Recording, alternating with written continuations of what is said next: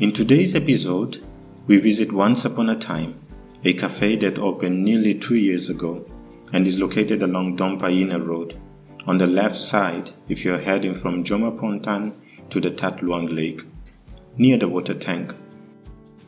Once Upon a Time is a modern looking and cozy cafe with a soft and unassuming industrial design ambience.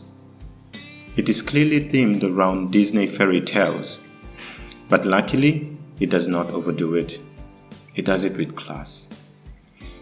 There is not much seating outside, only a bench and two coffee tables, but the ample space inside more than compensates for it. They have two floors with chairs and comfortable lounge seats, plenty of natural light, and even a bit of green to complement the atmosphere.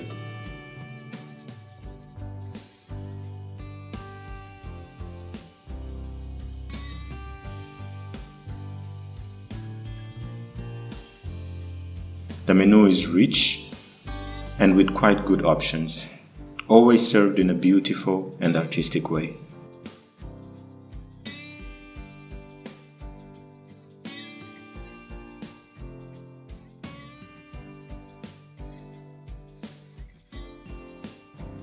Once Upon a Time is open every day from 7 in the morning to 6 in the evening.